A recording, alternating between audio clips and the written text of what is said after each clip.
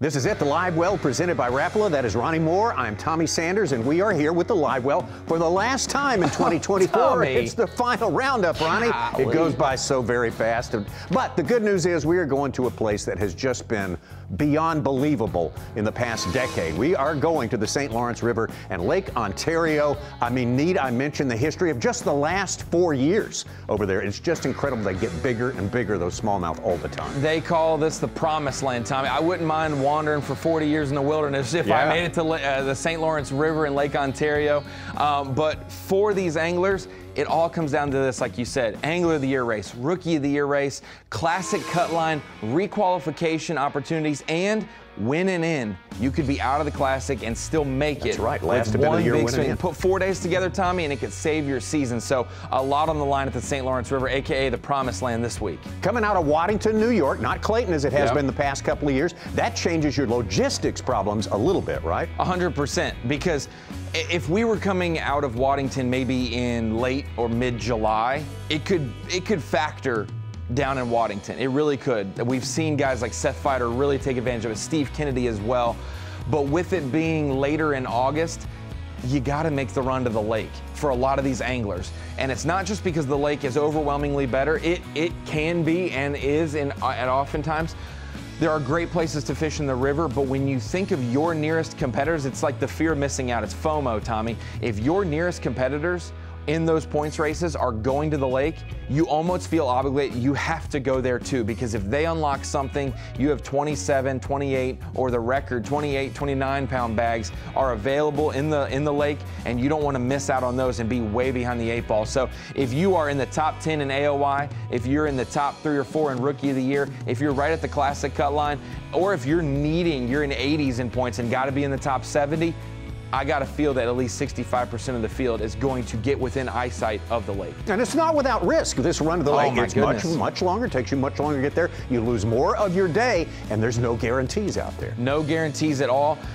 Let's put it this way a couple of our guys in the points race, the Justin Hamners, Trey McKinney's, Cody Huffs of the world, they are trying to fend off the likes of Chris Johnston, who started the Northern Swing in fourth place in the points race. So he was right there behind them. Because of Trey's flub up at Smith Lake and getting his weight nullified on day two, that brought 10 more people into the AOY race going into our Northern Swing. If you think about the Lake George run for Trey McKinney, let's let's rewind it back to the fourth stop Yeah. of the year, the St. John's. If Palatka to the bottom of Lake George was his longest run he had made in a tournament, that's about 50 minutes. He's going to have to make that and more Yeah. if he's going to go to the lake to try to win Just to Angler of get to Year. the lake, he's got to run that far. You're Yeah. going to fend off guys like Justin Hamner, who had a top 10 here last year and who obviously was working well with Patrick Walters. They were right there, not far from each other, out in the lake. So you got to you got to fight off that.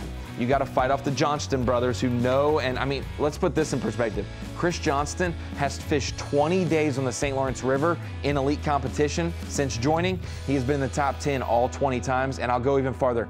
He's been in the top 10, or he's been in the top three 15 of those 20 days. So Chris Johnston's dominance can't underscore that at all, and he is definitely going to be a factor. He claims it's harder now because because he used to be able to catch him shallow. Now everybody goes out and catches him deep and does better. He can't. He's he's got that whole Yeah, he really- dimension yeah. taken away from him. Man. you really got to manage your history well with the Johnston brothers, and they've done it flawlessly. I'll throw in Cody Huff as well. Cody Huff last year at Champlain did really well. He's going to be confident coming into the Northern Swing, and he almost made a top 10 at St. Lawrence last year, but lost a few hours each day to mechanical problems.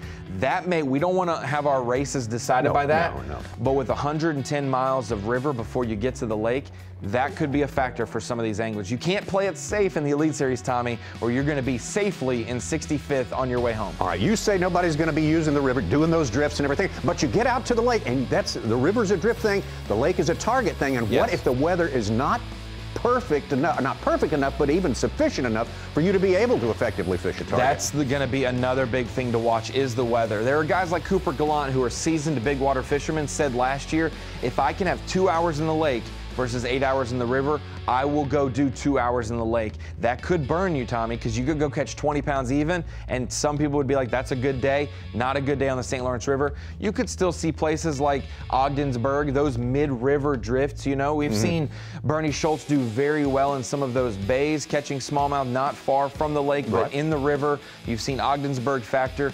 There will be someone possibly doing well in Waddington in that shallow region, maybe Massena, but those places, I don't know if you can beat the lake for three days and make it to the top right, 10. Right, you got to like, make it to the top. If unless chaos happens, yeah. you've got to be able to survive somehow. And who knows, some of these bays, somebody might wander in there and catch a five pound largemouth and help out their day uh, tremendously. But the St. Lawrence River, it's been different every time we've been there because the takeoff locations changed. Some years Canada's been off limits. Some year the lake's been off limits. Everything's now, on. Everything's in play, and we're all the way out of Waddington. The weigh-in should be great, and what a crowd to weigh into to win Angler of the Year, oh, win yeah. Rookie of the Year, and solidify Classic. It's a great culmination of the season in Waddington. Tremendous crowds. There's one final tease, one final attraction. Let's talk about the way this this body of water, the lake and, and the river, have progressed. 2022, for the first time ever, we had two anglers cracked the 100. That, that would be Jay Przekurat and Cory Johnston. Yep. Cracked the 100. Last year, the very next year, the top four, led by Patrick Walters, cracked the 100 pound mark. For smallmouth, setting the record of all for all time. It's kind of getting old. And, yeah. But yet we shouldn't, like, we still have less than 10 instances of something. That is still historic. We could have had another one, Tommy, last year. Kyle Welcher lost half his day. After locking up Angler of the Year, he lost half his day and ends up half a pound short of winning or of breaking 100 pounds. We wanted to give him an honorary Century Club, but he's ready to go and get it again this well, year. Well, he was compensated pretty oh, well for uh, no, his no doubt about it. At no that doubt tournament. About it. Yeah, yeah. Uh, I think that. Uh, people say less because they're going to have less time. There, I've saw some predictions from some anglers as few as you one. would think it has have to be less. Yeah, with less time to fish, I would expect less. I still wouldn't put it past three, maybe four to do it. We just know so much more about it. Um, and the fact that if they don't get it done and they come back early just to be safe, you can still catch a five pounder that helps you substantially in the river, not far from takeoff. So I'm going to still think at least three and I wouldn't be surprised if it was five. Well, it's going to be fun to watch either way. No doubt about It's an absolute guarantee. The Humminbird Bassmaster Elite on the St. Lawrence River. That is Waddington, New York, August 24th, 25th, 26th, and 27th. And that is the live well for today.